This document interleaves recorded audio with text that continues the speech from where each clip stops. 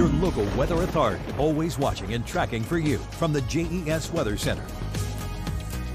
Happy Wednesday to you. The weather's been nice and calm here at home the past several days, but not so much as you head into parts of the plains where they had close to 100 reports of severe weather, most of which in the form of hail. That same storm system now not exactly severe, but producing some heavy rain in parts of Missouri. And you see the clouds feeding off of that and occasional showers as far east as Indiana. So we'll keep an eye on the chance for a few showers and thunderstorms, especially as we head into this evening. Here's 5 p.m. today. Notice we're dry dry, but the clouds are starting to move in from west to east this afternoon. This is after 8 or 9 p.m., and there you see some scattered showers moving in from west to east. Could have a few rumbles of thunder here and there as we head into the overnight hours.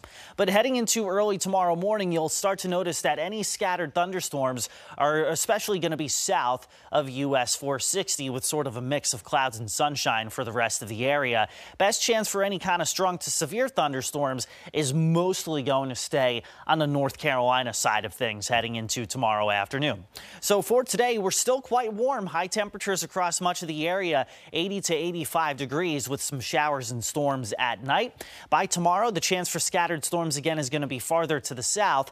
Hence, temperatures only 75 to 80 in the New River Valley, but everywhere else between about 84 and 87 degrees. But it's a battle between the heat miser and the snow miser. Check this out. Snow and quite a bit of it along the Rocky Mountains but we're on the opposite side of the spectrum where the jet stream is farther to the north. So that allows some big time heat to move into the area both Friday and Saturday afternoons. In fact, I'm talking high temperatures about 90 to 95 for everywhere outside of the mountains. So this is by far the hottest weather that we've seen so far in 2022. In fact, it's the hottest weather that we've seen since late August of last year. So all the things you would typically do in the middle of the summertime, drinking water, seeking shade, Make sure you're doing that as we head later into the week. Roanoke Valley extended forecast 80s today and tomorrow with the chance for showers and storms tonight into early tomorrow morning. That chance is also low, but not necessarily zero Friday and Saturday afternoons. High temperatures low to mid 90s. The chance for storms going up Sunday along a front that eventually is going to bring us some relief from the heat early next week. High temperatures low to mid 70s. Lynchburg area 80s today and tomorrow. Again, you could see a few showers after about 10 p.m. tonight, but then you're back in the 90s. Your record 96 Friday will be awfully close to that.